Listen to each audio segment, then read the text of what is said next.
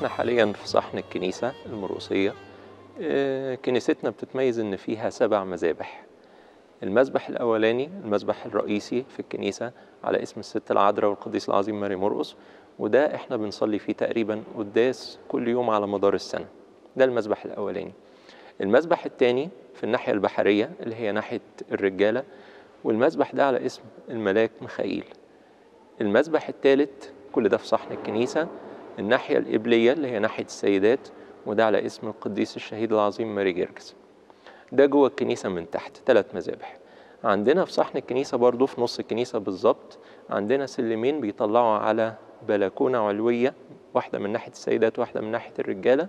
اللي من ناحية الرجالة أو من الناحية البحرية بتطلع على مذبح على اسم القديس العظيم أنبا أنطونيوس والأنبا شنودة رئيس المتوحدين. دي كنيسة صغيرة بيتصلى فيها قداسات في مناسبات معينة زي مثلا عيد أنبا أنطونيوس أو بعض المناسبات الخاصة. الكنيسة اللي من الناحية التانية على اسم المذبح بتاعها على اسم القديس ماريمينا وده كان بيصلي فيه قداسة البابا كرولوس قداسات كتيرة جدا جدا. ومن بعده نيافة الأنبا مينا المتنيح أسقف دير ماريمينا السابق. ده جوه الكنيسة. عندنا كده ثلاثة في صحن الكنيسة واثنين علويين يبقى خمسة. عندنا كمان مذبحين إضافيين خارج صحن الكنيسة. المذبح السادس موجود تحت المكان اللي إحنا واقفين فيه.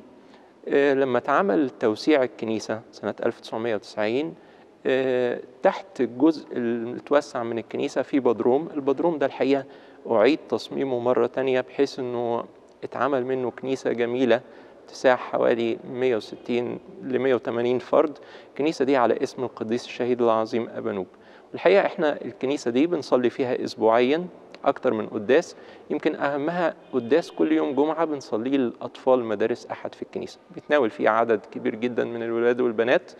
وكمان بنصلي في الأعياد والمناسبات الكبيرة بنصلي قداسات مخصوصة للأطفال في الكنيسة دي. عشان كده يمكن المذبح بتاعهم على اسم القديس الشهيد أبانوب عشان آه، هو استشهد وهو طفل.